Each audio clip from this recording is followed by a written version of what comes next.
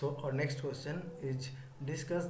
impact of ocean currents on the air mass behavior. So discuss impact कैसे impact फैल रहा है ocean current के ऊपर uh, on the air mass behavior.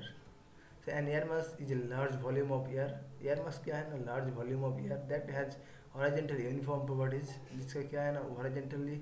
uniform properties रहते हैं uh, in terms of temperature भी रहते हैं horizontal and to a lesser extent humidity कम ह्यूमिडिटी रहती है air mass require their properties spending days to weeks air mass क्या करते हैं? Require their properties from spending days and days to week over the same parts of the earth वो कैसे air mass जो है acquire करते हैं ना properties their acquire their properties from spending days at to week उस, ऐसे day से वीक्स में ऐसे वो कलेक्ट करते हैं and on the same part of the earth and so, the our northern canada, northern pole and tropical pacific ocean.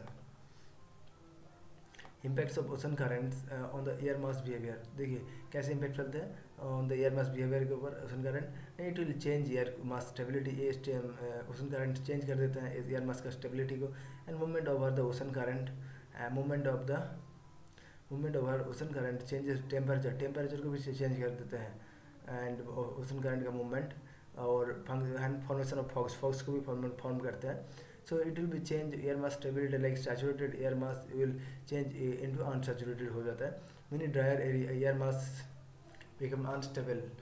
after passing over humid and warm ocean current and cause precipitation and reaching land movement over ocean current changes temperature so movement ocean current जो है movement करते हैं उसको change करते हैं ना temperature को भी change करते हैं for example if cold air masses is passing through hot ocean के ऊपर cold air अगर पास करते हैं तो air mass generally absorb temperature absorb कर लेता है। Air mass western Africa Sahara gets dry due to prevailing cold wind cold current canary wind क्योंकि उस time air mass western Africa में सहारा में ड्राई हो जाता है due to prevailing cold canary current and formation of fogs due to inter intermixing ocean currents and movements air mass example देखिए जो formation of fogs in at Peru coast में